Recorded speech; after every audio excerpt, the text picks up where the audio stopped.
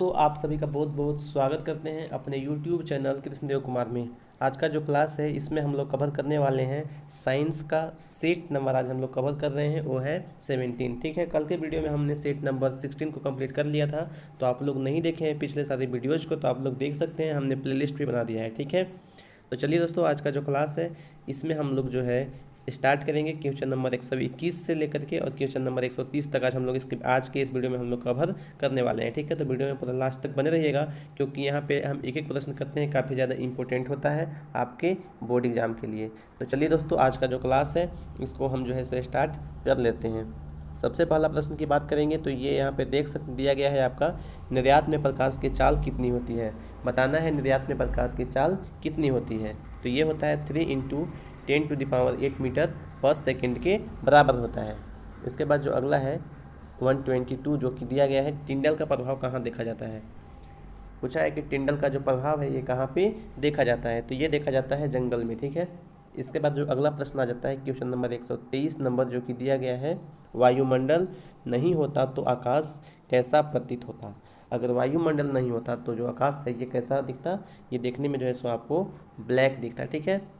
तो ये चीज़ आपको याद रखना है, ठीक है? इसके बाद देखते हैं दोस्तों नेक्स्ट जो यहाँ पे मेरा आ चुका है 124 नंबर क्वेश्चन जो कि दिया गया है, सूर्योदय एवं सूर्यास्त के समय जो है, आकाश का जो रंग है एक ऐसा दिखता है, ठीक है? तो ये दिखता है लाल दिखता है, ठीक है?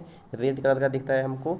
पूरा रेड भी नहीं होता है, लेकिन रेड पूरा रक्ताव जो है, सो रक्त का जो कलर होता है, उस टाइप में जो है, सो दिखता है, ठीक है?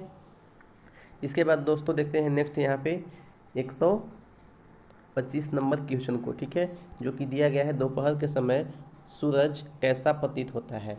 बताना है कि यहाँ पे जो आफ्टरनून में जो यहाँ पे सन होता है, इसका जो लाइट होता है, किस प्रकार का होता है, कैसा जो है, सो ये देखने में प्रतीत होता है।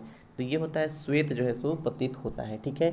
ये आपको याद रखना है। इसके बाद दोस्तों अगला हम लोग देख लेते हैं नेक्स्ट मेरा जो प्रश्न आ जाता है क्वेश्चन नंबर 126 जो कि है, खतरे के संकेत का प्रकाश किस रंग का होता है? डेंजर रंग जो होता है डेंजर जहाँ पे मान लीजिए कि जैसे कि जहाँ पे खतरा है डेंजर जोन है, ठीक है? तो उसका जो कलर है, वो जो है किस रंग का जो है, सो लाइट जो है, सो ये बताता है कि यहाँ पे खतरा है, ठीक है? तो ये है रेड कलर आप लोग देखिए, होइएगा कि जब रेड होता है ट्रैफ़िक लाइट पे तो जो है सो हम लोग को क्या होना पड़ता है? स्टॉप होना पड़ता है। उसी प्रकार से अगर आप लोग रेलवे से सफ़र करते होंगे तो रेलवे का जो सिग्नल होता है, वो जब रेड हो जाता है तो क्या होता है? ट्रेन रुक जाती है। यानी कि ये खतरे का संकेत होता है, ठीक है?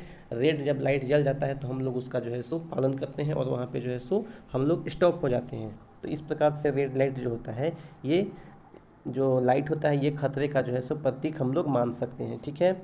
इसके बाद दोस्तों वन ट्वेंटी सेवन नंबर जो कि दिया गया है, तारे क्यों टिमटिमाते हैं? तारे के टिमटिमाने का क्या कारण है?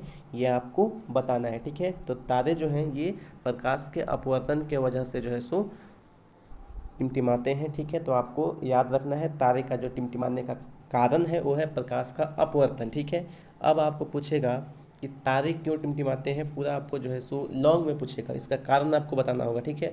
तो इसमें जो है सो प्रकाश के अपवर्तन को आपको समझाना होगा कि कैसे कैसे, क्या कुछ होता है इसमें। सब कुछ आपको बताना पड़ेगा, ठीक है? तब जा कर के आपको जो है सो ये कंप्लीट होगा। ये लगभग आपका चार नंबर में आएगा। तब जो है सो इस प्रकार से लिखना है, तीन से चार नंबर में अगर आएगा तो। नहीं तो शॉर्ट में अगर एक नंबर में आता है तो डायरेक्ट हमको लिखना है तारे क्यों टिमटिमाते हैं तो प्रकाश के अपवर्तन के कारण जो है सो टिमटिमाते हैं। इसके बाद दोस्तों देख लेते हैं, एक सौ अट्ठाईस नंबर क्वेश्चन जो कि दिया गया है, हवाई यात्रियों को आकाश कैसा प्रतीत होता है? ये आपको बताना है कि जो हवाई यात्री होते हैं, उनको आकाश कैसा प्रतीत होता है? तो उनको जो है आकाश प्रतीत होता है ब्लैक कलर का, ठीक है? तो ये आपको याद रखना है, ये भी प्रश्न कई बार जो है सो एग्ज़ाम में पूछ लिया गया है, ठीक है? इसके बाद दोस्त देखते हैं नेक्स्ट यहाँ पे एक सौ ट्वेंट, एक सौ उनतीस, ठीक है? One twenty nine number question को देख लेते हैं, जो कि दिया गया है। आमीटर को विद्युत परिपथ में किस क्रम में जोड़ा जाता है, या किस प्रकार से जोड़ा जाता है, ठीक है? तो ये जोड़ा जाता है, श्रेणी क्रम में जो है, सो इसको जोड़ा जाता है आमीटर को, ठीक है? इसके बाद अगला आ जाता है क्वेश्चन नंबर 130 जो कि दिया गया है ओम के नियम का गणितीय रूप आपको बताना है कि ओम के नियम का गणितीय रूप क्या होगा, ठीक है? तो ओम का नियम का जो गणितीय रूप होता है, वो होता है भी बराबर आर आई तो ये आपको याद रखना है, ओम के नियम का जो गणितीय रूप होता है, ये होता है भी बराबर आर आई ठीक है? तो ये दस क्वेश्चन आज में, आज जो है सो मेरा कंप्लीट हो जाता है। नेक्स्ट के वीडियो में हम लोग जो है सो आगे बढ़ेंगे और क्वेश्चन नंबर एक सौ इकतीस से लेकर के क्वेश्चन नंबर एक सौ चालीस तक कंप्लीट करेंगे, ठीक है? दोस्तों, हमने यहाँ पे बहुत सारे पीडीएफ तैयार कर रखा है। यहाँ पे देख सकते हैं 160 नंबर तक हम लोगों ने तैयार कर लिया है। इसमें यहाँ तक जो है सो हम लोग जब कंप्लीट कर लेंगे पूरा सारे क्वेश्चंस को 160 नंबर तक तो इसके बाद हम लोग जो है आपको कुछ न्यूमेरिकल क्वेश्चन है जो करवाने वाले हैं, ठीक है?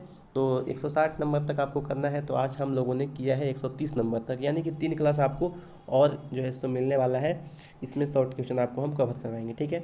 इसके बाद जो क्लास आपका आएगा, उसमें हम न्यूमेरिकल क्वेश्चन करेंगे, जो भी क्लास आपका बचेगा। जैसे आज का जो मेरा सेवेंटीन नंबर क्लास है तो आपको जो है तीन से इसमें जो है सो एक दो क्लास आपका और बढ़ेगा, ठीक है? तो हम प्रयास करेंगे कि ट्वेंटी टू नंबर तक क्लास तक जो है सो आप लोग का क्या हो? शॉर्ट क्वेश्चन हो, ठीक है? तो यहाँ तक आपका हो जाएगा ट्वेंटी नंबर तक हमने अभी तक बना लिया है, ठीक है? और फिर हम लोग इसमें संडे को काम करते हैं, ठीक है? तो संडे तक जो है सो हम लोग ने जो है सो ये पीडीएफ को तैयार कर लिया है। आपका सैटरडे तक का पूरा पीडीएफ रेडी है ऑलरेडी हम जो है सो रेडी कर लिए हैं। और यही पीडीएफ आपको हम देते हैं, ठीक है?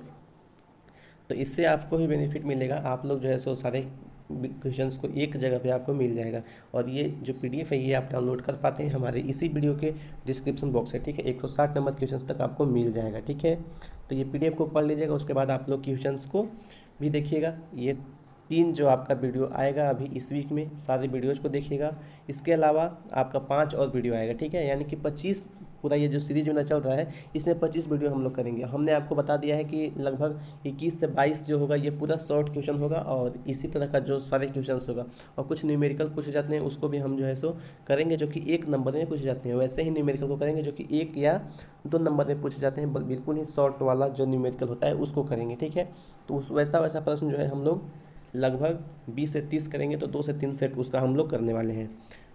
तो अभी तक आप लोग हमारे इस चैनल को सब्सक्राइब नहीं किए हैं तो सब्सक्राइब कर लीजिए और इस वीडियो को लाइक नहीं किए हैं तो वीडियो को लाइक भी कर दीजिए, क्योंकि ऐसे ही वीडियो आपके लिए हम लगातार लेकर के आते रहते हैं। तो थैंक यू दोस्तों, ये वीडियो देखने के लिए आपका बहुत बहुत धन्यवाद। आपका दिन शुभ हो। जय हिंद, जय भारत, जय झारखंड।